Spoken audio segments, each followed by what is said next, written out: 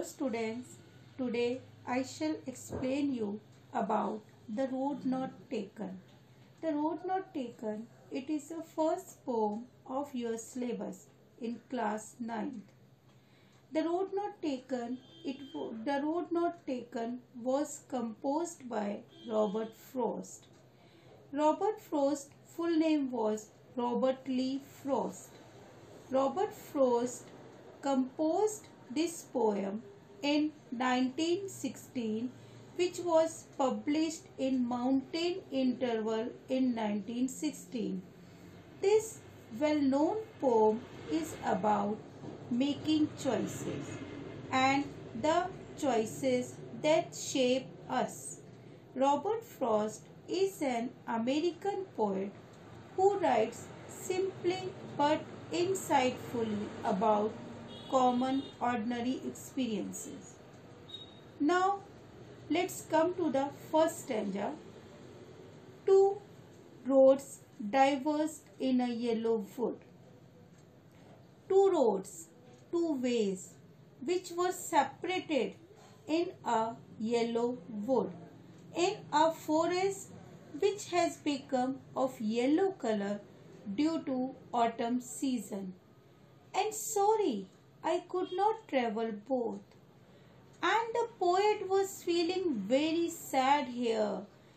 He was unable to travel in both the roads at the same time. And be one traveler, long I stood.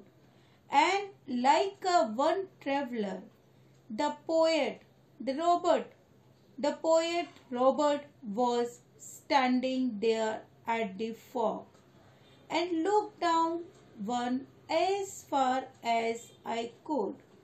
And he was steering both the roads as much as he can see to where it bent in the undergrowth and to where road bent, road turned in the under bushes. Then now second stanza. Then took the other just as fair. Now suddenly he observed the other road, other option, which was as much beautiful as the first one, and having perhaps the better claim. And he was thinking about that. Robert was thinking about that. Maybe this other road will be the better for his life because it was grassy, because that road was also grassful and wanted wear. Wanted wear means is that that was very less used by traveler. Though as for that the passing there, even it was available, it was visible there. He very very less people pass from that road had warned them really about the same. And the same condition of the first one road is also having there. And both, now the third stanza, and both that morning equally lay. And that morning, in the morning time, for the poet, for Robert Frost, both the roads are equally beautiful. In leaves, no step had trodden black. The leaves which are lying on the roads, no, no leaf was crushed due to step of human beings or animals. It means the road, both the roads were appearing like that कि nobody has used them. Oh, I kept the first for another day. Suddenly, the poet was thinking about that. He left the first option, first road for another day. Yet knowing how way leads on to way. Even the poet, he was knowing about that very well. Ki how he will come back at the same time there. I doubted if I should ever come back. poet was having doubt about that. He will come back in future at the same position. I think it's not possible for the poet. That's why he was saying that he was also doubting. I shall be telling this with a sigh. Now the poet, he was speaking with sorrow, with pain. What he was saying? Somewhere ages and ages hence.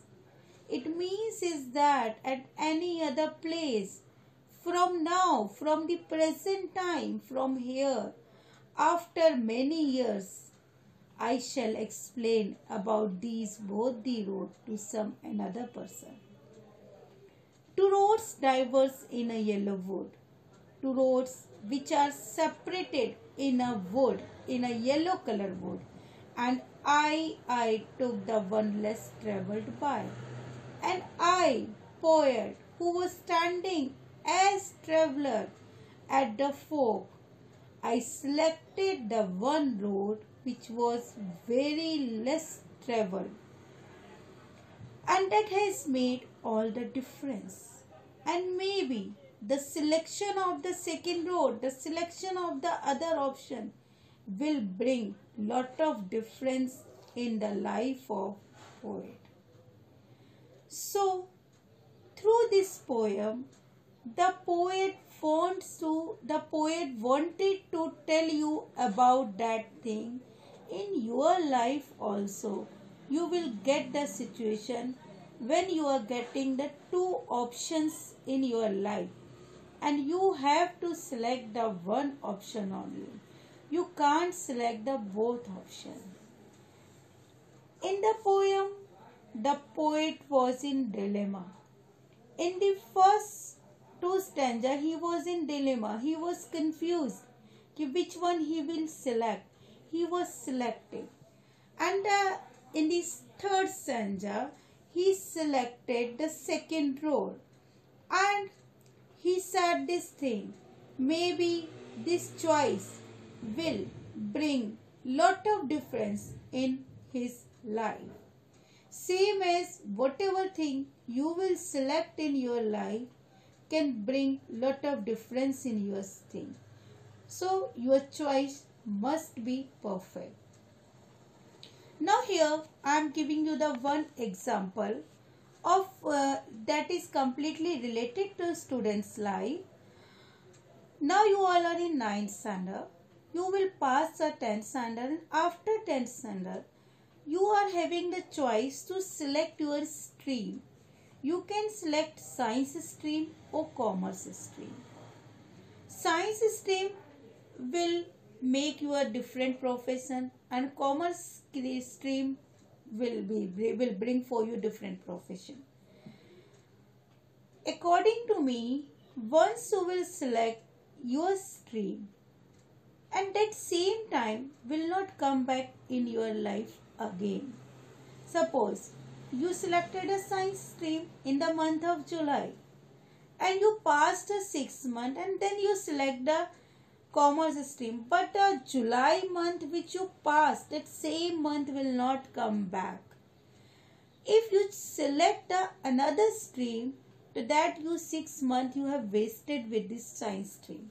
It is there. So same thing the poet he was doubted in the third stanza कि I should ever come back at the same time. Not possible. Same time, same situation, never come back. Once you are getting the two options in your life, that situation will not come back again. So your selection must be the perfect. Now we should discuss the figure of speech also in this poem we see the first stanza. In first stanza, in fourth line, as far as it shows the simile. Same as in the third, for, uh, fifth line of the first stanza, it, it tells us about the road. Road, bent in the underbushes, undergrowth. Road is not bent road is turning road construction was in that manner only. So here personification is there. We are imagining roads just like a living being. Now see the second stanza. Just as fair. First line of the second stanza, just as fair. It shows the similes here.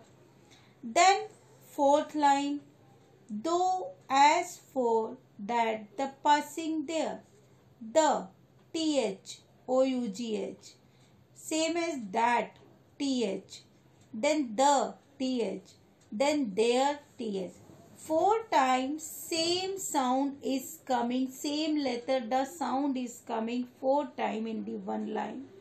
It means here alliteration is there. Head for them really about the same. Now see uh, love third stanza. Third stanza last line i doubted if i should ever come back i I. Same pronoun is repeated second time in the same line. It means here repetition is there. Now next last stanza second line somewhere ages and ages ages and ages ages word repeated here again it means here is also the repetition now next. Two roads diverge in a wood. I took the one less traveled by and that has made all the differences. I hope this poem is clear in your mind. Now we should think about the rhyming scheme.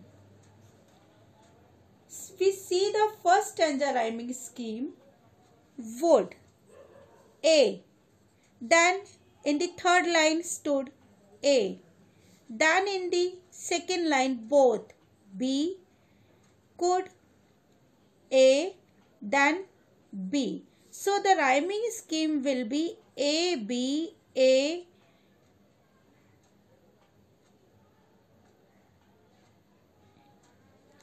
A B A B A A B. Is it clear in your mind? Same as in the second stanza, the rhyming scheme will be C fair. Then claim D. C, C and D. Okay. First stanza C again. Rhyming scheme A, B, A, A, B. Then second stanza C, D, C, C, D.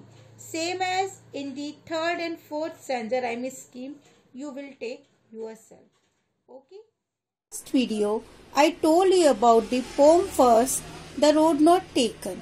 I hope the explanation was clear in your mind. I told you the rhyming scheme also and something about the Robert Frost also I told you about it. Now the turn of the word meaning. In this poem, we got the diversed word in first line. It means separated. Now undergrowth, it means bushes and shrubs. Wanted wear had not been used. Trodden, it means walked. Passing, on walking down. Fair, it means good. Ages and ages, many years. Yellow wood, the forest is full of yellow leaves as it is autumn season. These all the word meanings you have to write in your notebook. Now frame the sentences. Sigh, hence, diversed, undergrowth, trodden, fair. These all the frame, these all the words, sentences you will frame in your notebook. Thank you.